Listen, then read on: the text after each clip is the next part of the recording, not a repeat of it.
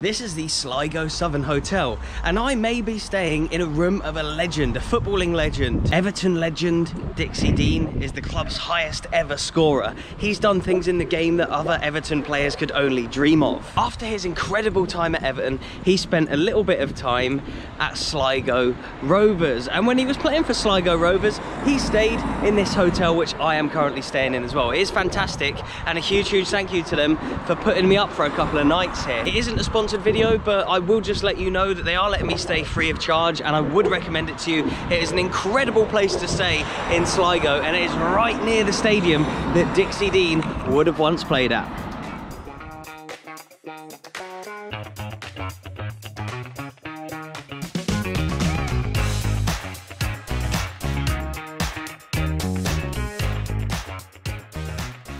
The Everton connection doesn't just stop with Dixie Dean um, with Sligo, but with Seamus Coleman as well. Famously, they bought him for just £60,000 from Sligo.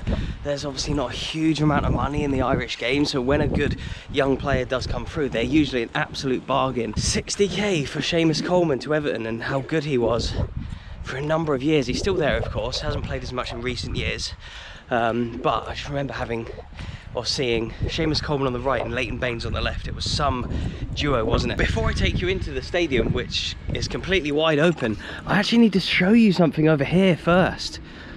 Oh, wow, just check this out. So this is obviously a training pitch for the community to use or maybe for the first team to train on. I'm not 100% sure, but there's something over here that I've seen.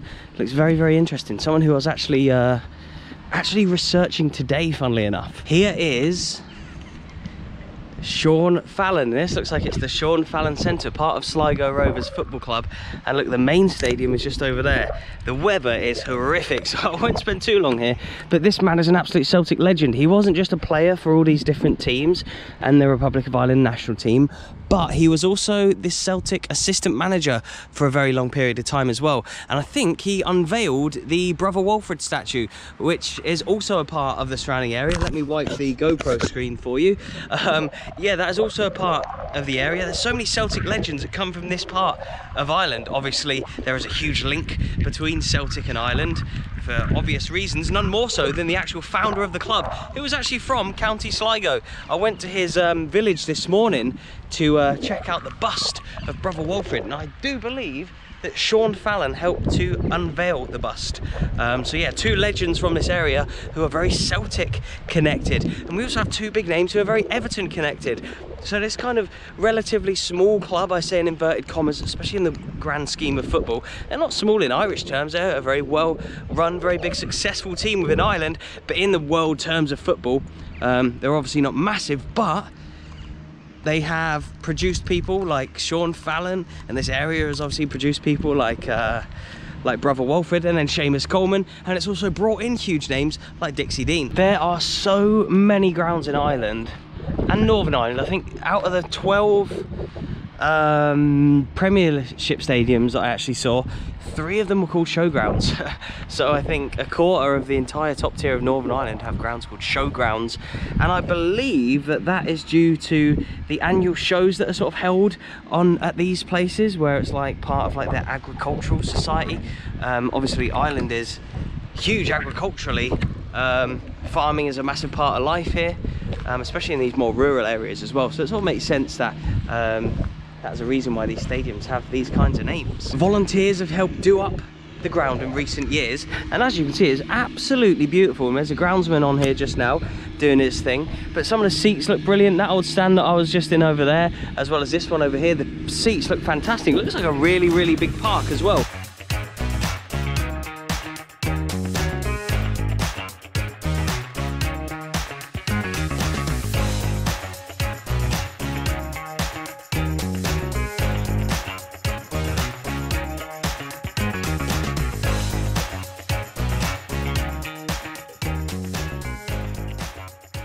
Oh, nice. Thank you very much, mate. What's your name? Yeah, I'm Ross. Oh, lovely to meet you, man. How's it going? You okay? I'm, I'm good. I'm just on holiday, but I see, I'm a Motherwell fan. Oh, so we might right, Motherwell fan. the next That's right. You might be, if they beat um, who have they? Bala Town. So yeah, that's like, right. Yeah. thought, well, we're in the area. I'll just Oh, check it out. Yeah. see the stadium. Well, you might be coming back to see them play against Oh, Motherwell. Hopefully. How are you, mate? You okay?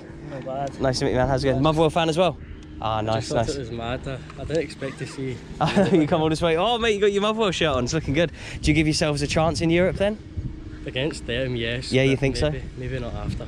Well, who was it you played? Didn't you go out to a British team before? It was uh, an Israeli team that beat, beat Celtic a few years ago. Ah, okay, yeah, They yeah. beat two Irish teams. Then it was Or maybe I'm thinking of Half Killy. Didn't Killy lose against It a Welsh team or yeah. something? That's right. Yeah, I remember. it was I remember. Hartwell versus Shiva that Nice. got us Well, time. well, what do you? They're quite a big club actually. To be fair, what do you think of Sligo anyway?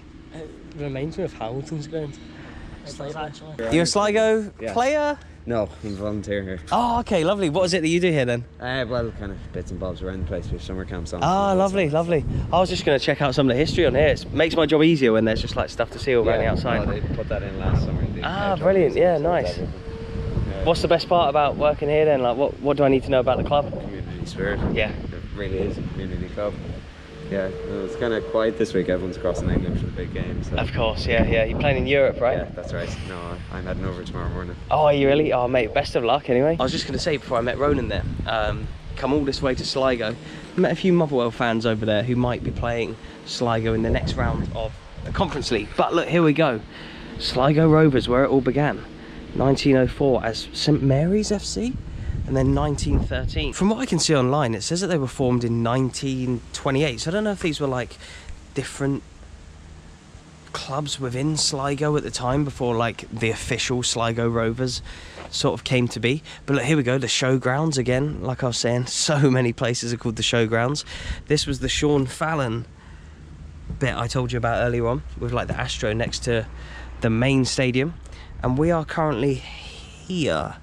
Yeah, we're literally there, just by these cool looking old gates. Rovers, grounds, and development committees have overseen many changes to the showgrounds in the 70 years between these photographs, mainly the enhancement of the main pitch, construction of the Tracy Avenue stand, installation of the all weather facility, and the provision of a new car park. So let's see how different it was from then to then. Look at that. Wow, yeah, look how far it went out. I suppose stadiums back in those days were used for a lot of different things, not just football. So they had to have like running tracks, cycling tracks, things for obviously the agriculture, like I told you about earlier. But look, you can even see like these houses here have that kind of shape to them, and they even do here as well. Look at that, how they sort of go round. Yeah, look, as you can see here, it says since Sligo Rovers was established in 1928. We saw around there there was like earlier pictures of teams. I guess that would have been. Uh, been like earlier editions of different Sligo clubs, I suppose. Um, but the peace program is funded by the EU, uh, EU Peace Program, managed by the special EU programs body. So they've obviously uh, come together to create this museum here, the Showgrounds Museum display. Sligo Rovers' colourful and diverse history.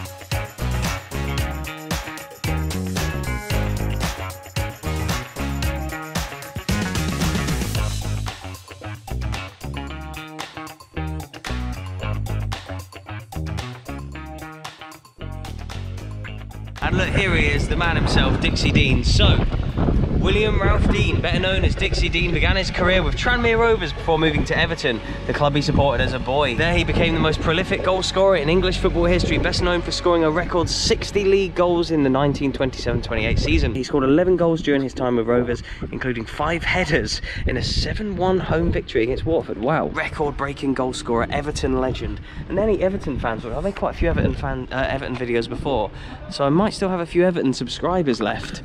If there are any of you watching, you have to come to Sligo Rovers and check this place out. Because one of your greatest ever players, arguably the greatest ever, the man with a statue front and centre at Goodison Park, is a huge legend here as well.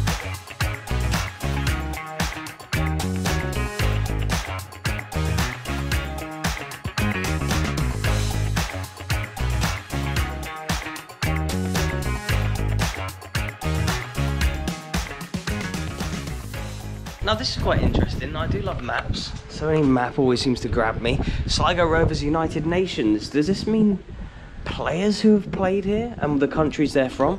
Because if it does, look, they've had quite a few Europeans, Eastern Europeans, Estonians, Polish, a few, uh, a few from the Balkans here, Bosnia, of course, Portugal, Spain, France, a lot from the Netherlands.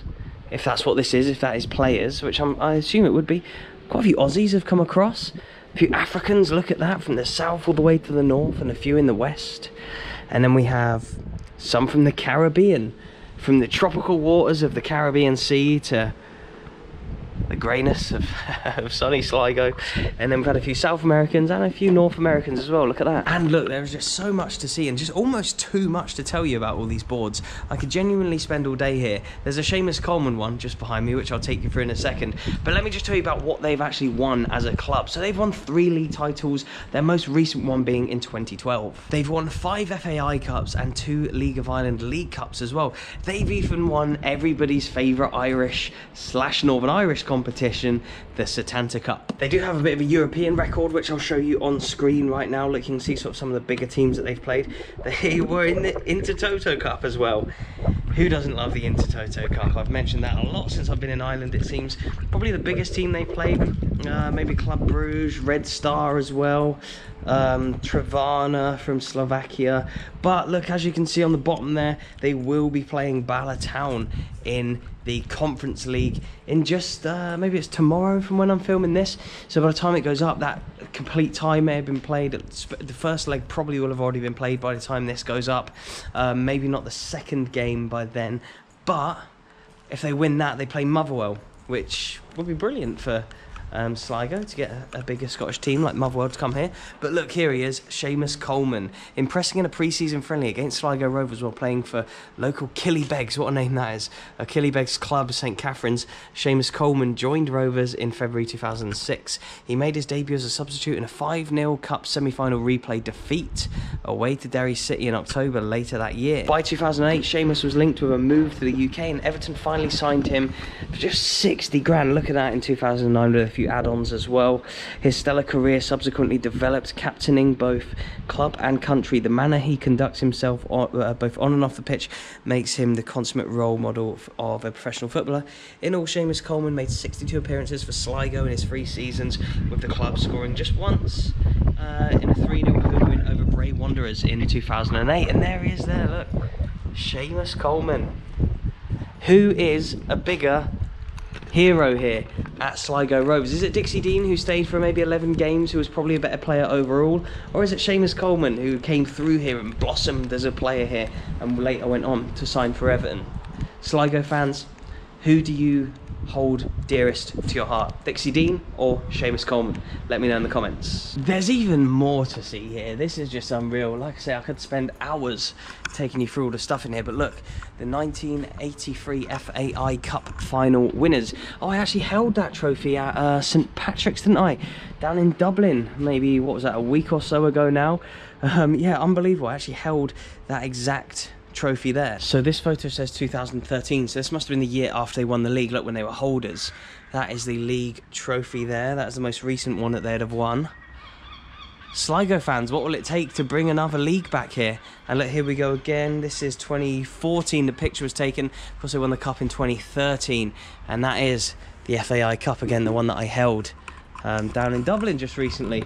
Look at it, absolutely pissing down here. Do you know what I've sort of found in Ireland? The rain isn't like as mental in Scotland. Like it doesn't batter you like it does in Scotland. I'm sure it does at, at times, but it just seems more consistent and more just fine. It's like just constant. Nothing too crazy, nothing too heavy, but just a real constant stream of just really soft rain. Whereas in Scotland, it'll just batter you and then the sun will come out. That's what I've sort of uh, realised a little bit here. But yeah, look at this. I'm sure you get some lovely views on a more clearer day, but look, there's like the church through there. And a lovely little stadium. The uncovered section over there. Wouldn't want to be in there for an away day when uh, when it was raining. Ah, oh, Christ, the weather's absolutely horrific. It makes it so much harder to film and be out and about. This is literally July. I, the summer this year has been awful from start to finish in Scotland. Well, it's not finished yet, but in Scotland and in Ireland so far, it's just been absolutely. Can you even see me right now? The amount of rain that's on the GoPro. Ah, if it wasn't for the terrible weather, this would have been the perfect trip. It's been pretty good, actually, to be fair, in Ireland so far. But we need to go and warm up somewhere. Come on. There's only one place we can go.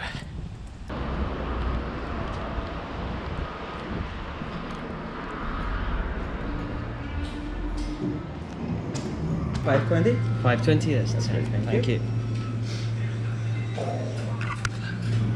Thank you very much. Perfect. Thank you. So yeah, I'm not just making it up to suit the video, but Dixie Dean has genuinely stayed in this hotel from what I've been told um, by the owners of this place. So maybe he came and sat in this exact position that I'm in now at this table to eat a post-match meal after scoring one of his uh, 11 goals or maybe his five headers against was it Waterford I think? Or maybe he washed it down with a Guinness. Or perhaps he was a little bit more uh, health conscious than me